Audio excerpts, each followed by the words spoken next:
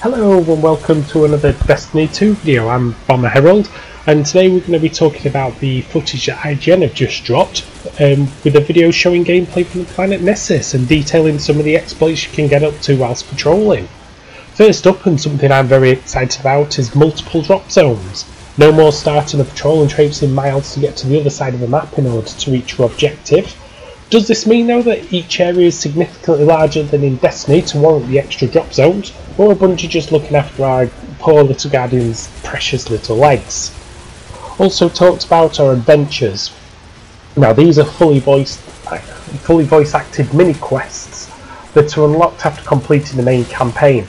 They'll offer more insight into the world that you're patrolling and can be completed quickly with no loading times. So no going back to your ship in orbit and then having to go back to the same planet as we saw in Destiny.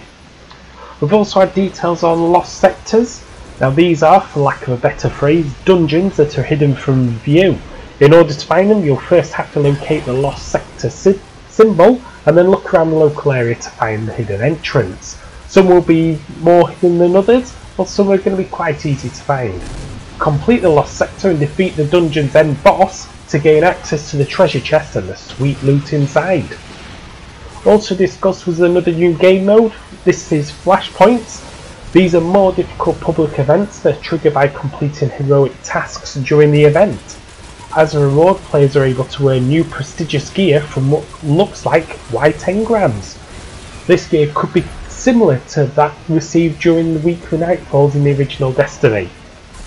To help players out, Cayde 6 will be selling a weekly treasure match, give, giving players clues to the location of the Flashpoint public events.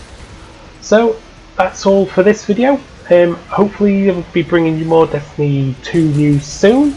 And um, until then, I'll bid you a fond farewell and say see you later. Thank you for watching. Please like, share and subscribe for more Destiny 2 videos. Until next time, see you later.